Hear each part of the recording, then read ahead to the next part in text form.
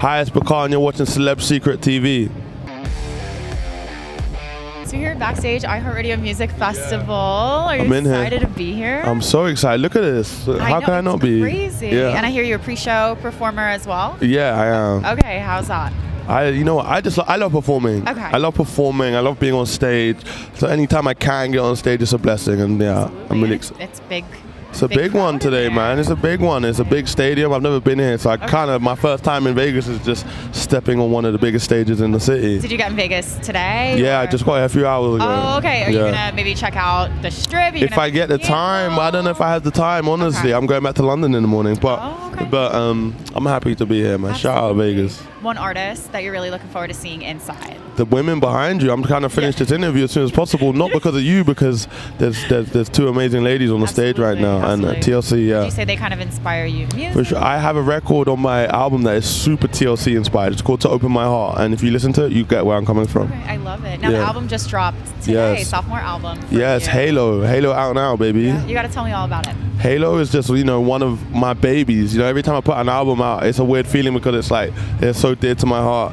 I'm so proud of this album. It's, you know, we were kind of went back to our indie rock roots a little bit, played with instruments more than, like, you know, than we have in the last year or so. And, um, it was post COVID, so we just really wanted to uplift people, you know, give people a reason to be outside, to dance, to smile.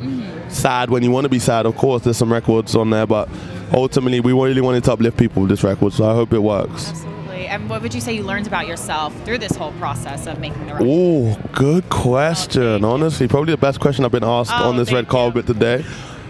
That I'm probably not going to be able to give you the most comprehensive answer because I'm probably going to go think about it after I left. Okay. Now that you said that, but off the top of my head, just learn to learn that there's no ceilings to what I can do. You know, no ceilings to what I do, no boundaries to how good I can get at what I do, and just and honestly to just keep going. Honestly, yeah, that's like that's the main thing. Is that like there were moments on this record where like I didn't know where I was, what direction I was going to go in, but I just stuck true to it and let it take me to where it wanted to go. So just really believe in my taste, in my gut, and my decisions. Yeah. I love that. And you said you love performing live. Yeah, so love gonna it. take these songs out on the road. Yeah, oh, 100%. Okay. America coming soon. I feel like I haven't announced American tour yet. Okay. And so, like, my fans are like, when are you coming? When are you coming? But of course, I'm going to come at some point. It'll probably be early next year. So, yeah. right. W- Look out for that. Absolutely. And one city that you're dying to play a show in. New York. New York. I'm from New York. I love playing shows in New York. Uh, it's just like they feel like they understand me the most. Yeah, I love New York, but Texas too, though.